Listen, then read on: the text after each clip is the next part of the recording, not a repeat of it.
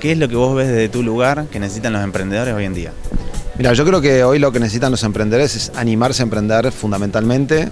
Una de las cosas que nos pasa en general a los emprendedores es pensar, siempre ponemos como la causa de no emprender en otro lado, en la falta de crédito, en la falta de inversores, en la falta de normas claras.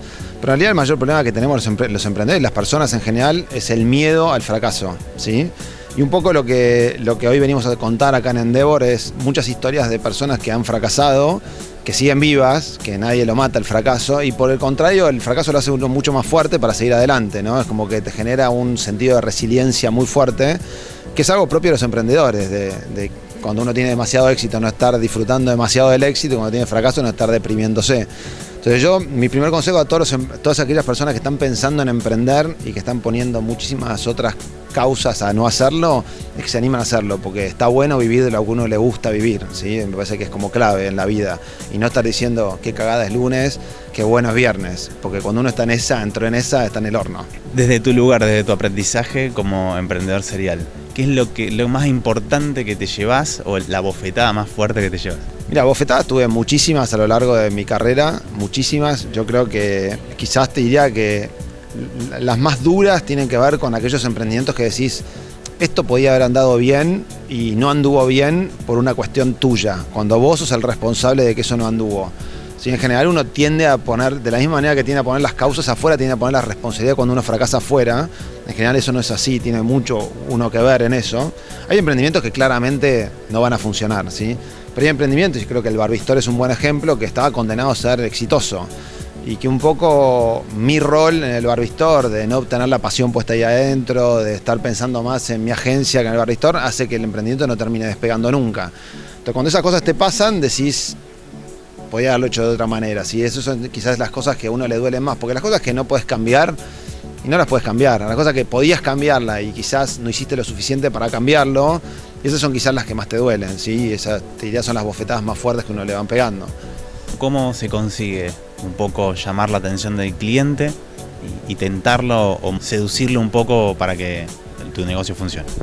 En primer lugar, creo que una cuestión que es muy importante que los emprendedores tenemos que saber es que nosotros no vamos a cambiar la cultura de la gente, las tradiciones de la gente. Si la gente está acostumbrada a que va al cine y nosotros queremos hacer un negocio de cine o hagamos un negocio de cine, porque la gente está acostumbrada a ir al cine. Ahora, si queremos inventar una cosa nueva en el cine, ahora acá inventemos los autocines.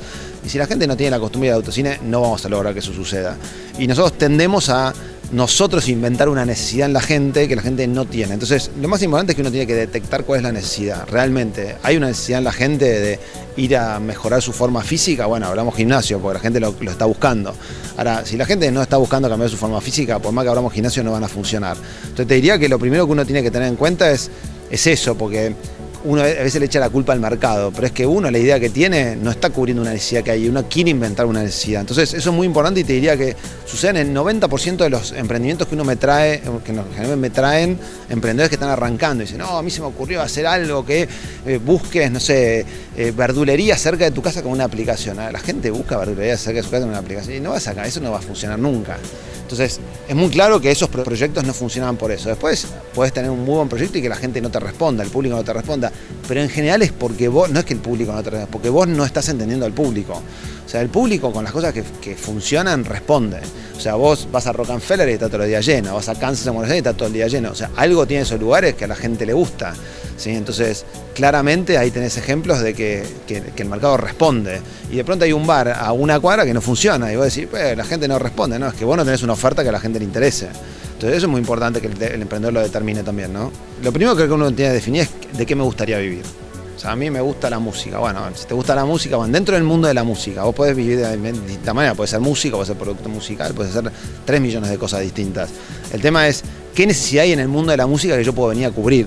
O sea, ¿cuál es mi valor agregado en este mundo? ¿En dónde yo soy bueno? ¿Qué puedo... Entonces me parece que esa es la clave primero. Entonces, primero decir, bueno, en el mundo de la música faltan estudios para grabar música en Rosario. Bueno, abro un estudio de música. Ahora, si hay 3 millones de estudios de música, y, bueno, va a ser mucho más difícil, obviamente. Entonces yo te diría que lo primero es que uno tiene que determinar cuál es la necesidad esa, buscarla y sobre todo buscar en uno mismo qué es lo que uno le gusta hacer. Cuando uno machea necesidad con mi gusto personal y estás en el mundo ideal, ¿sí? Porque si vos encontraste una necesidad de decir, no, mira, las mineras necesitan empresas, la verdad que a mí me gusta la música, y bueno, nunca vas a ser feliz haciendo cosas, por más que sea millonario.